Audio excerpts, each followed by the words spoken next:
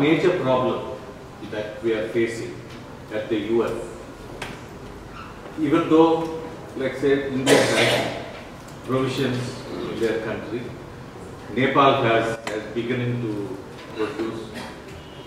I'm sure I think Sri Lanka will also take up. Definitely Pakistan has uh, certain protective legislations for the scheduled caste. When it comes to UN level, governments are resisting.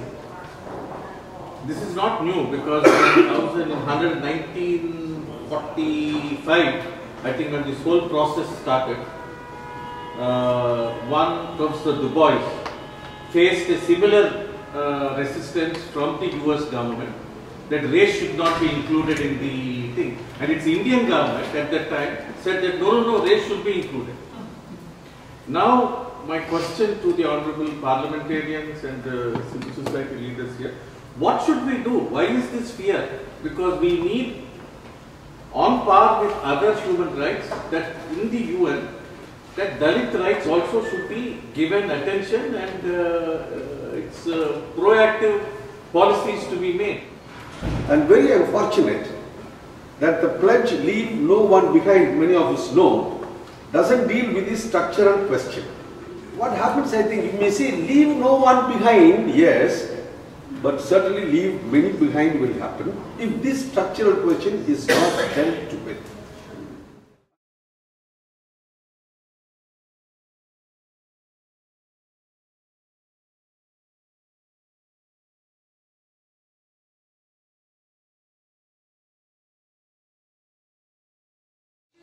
I think before looking at the so-called progressive legislations of my country, uh, really we have a very revolutionary the chief architect of whom, uh, Dr. B.R. Ambedkar, uh, a revolutionary constitution which, uh, which actually gives uh, sufficient uh, constitutional guarantees, which actually makes all of this what we're discussing uh, illegal by the Indian law.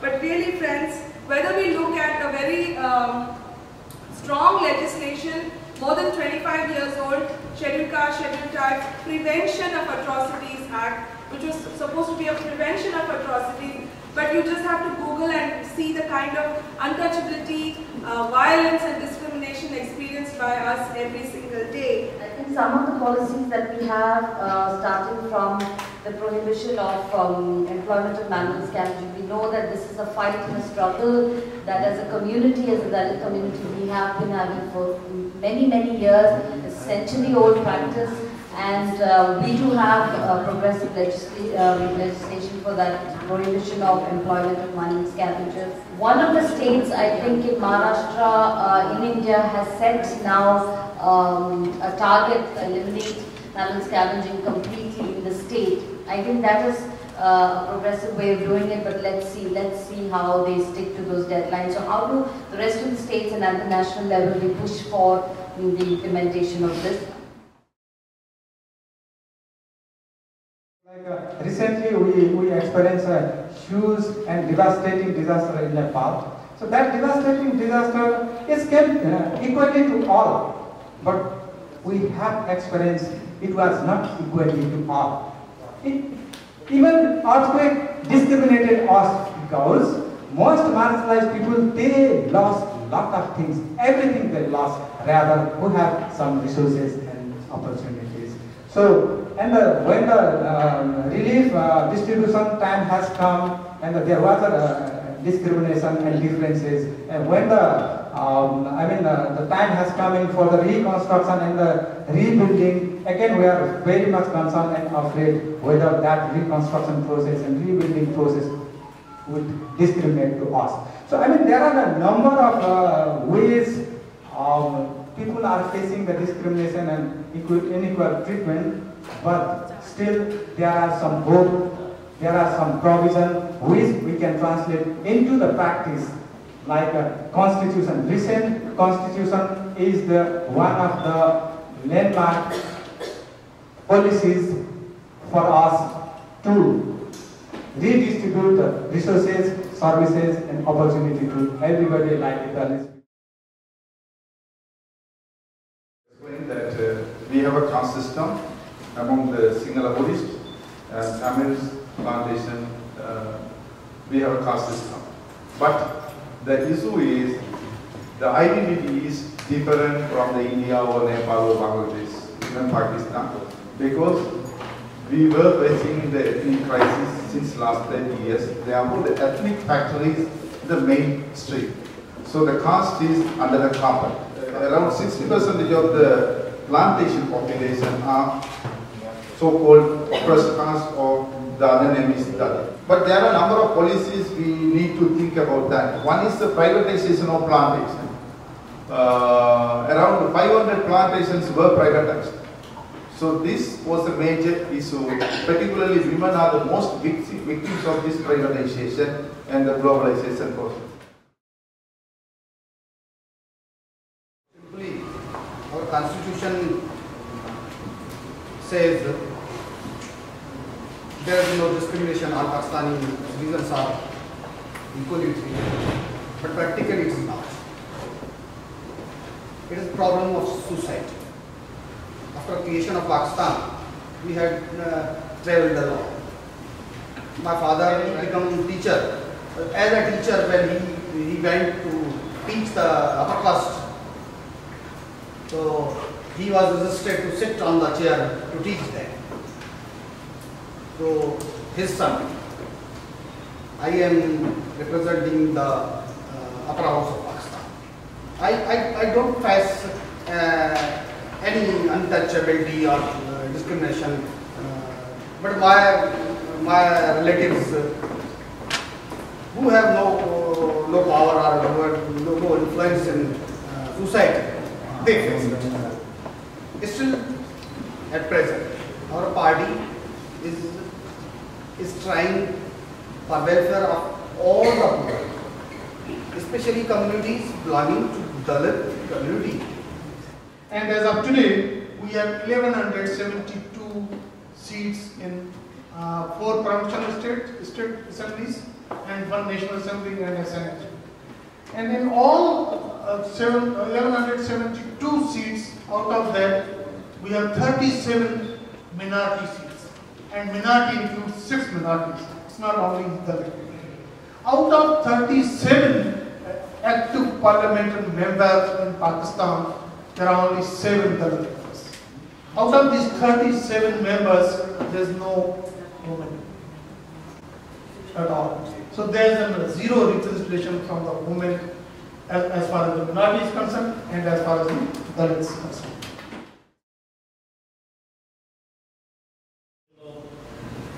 There is a need for a ministry to actually oversee the Dalit affairs because Dalits are quite a large population. It's about, it's estimated that there are 6.5 billion Dalits in Bangladesh, at least. The current government has been um, positive on this issue. Uh, they have started the promulgation of the law and they have begun to you know, allocate money in the budget.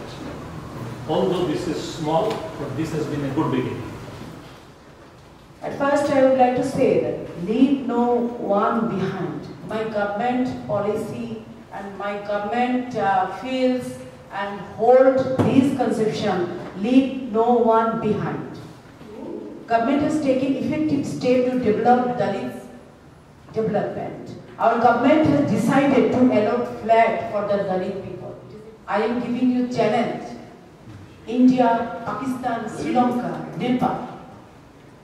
There is no policy regarding flat giving policy in your country. But our government is very, very serious and sincere to this issue.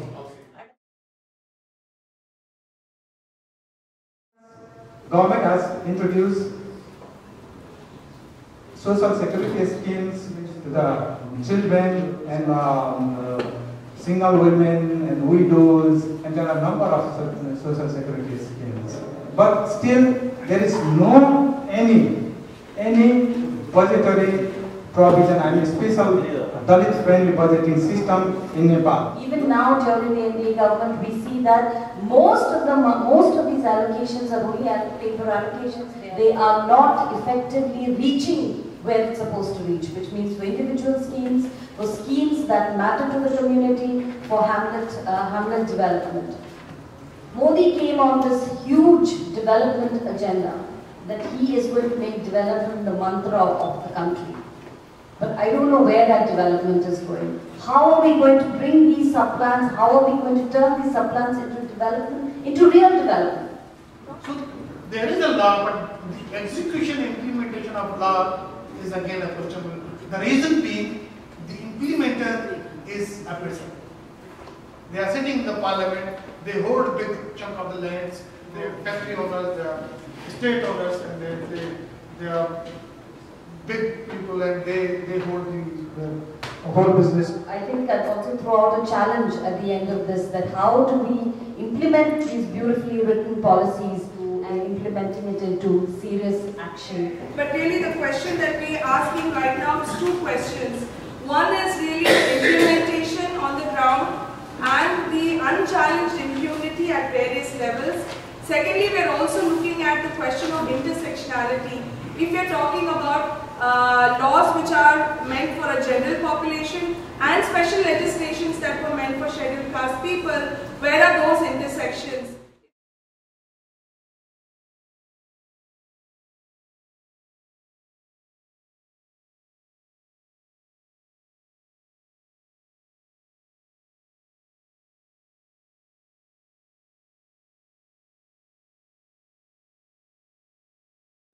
the issue is now we are moving towards to a better political system. Now already some of our community members are in the parliament. We hope they will raise the question and they will bring the um, issues. Also they will bring the uh, legal reform towards the community.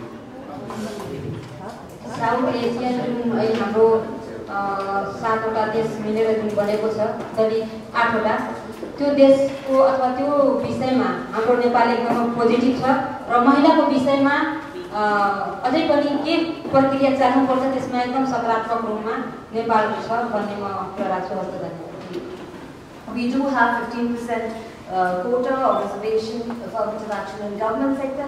We need to extend that to the private sector, period. We want our people, our community, we want the Dalits and Adivasis to have private sector jobs. We know that there is only 5% public sector companies in the country today. Uh, So we need to ensure that we have affirmative action in the private sector.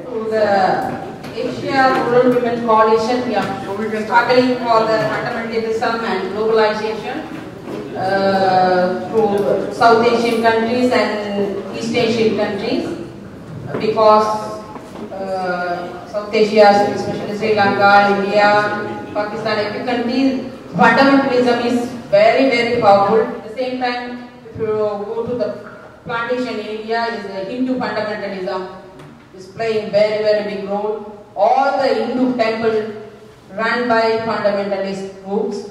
The Indian government are supporting for the so-called high caste people. So we are struggling, we are fighting, I think through the ARWC, Asia Rural Women's Coalition, I am a steering committee, one of the state group member. We are fighting against that, we will achieve, but we not stop our struggles. But Indian Rural Women's Coalition is common. I am Common. asking for Dalit women. Hmm. I am very particular about Dalit women for the Asian level or South There Asian level. there is a need for that. There's a need for that.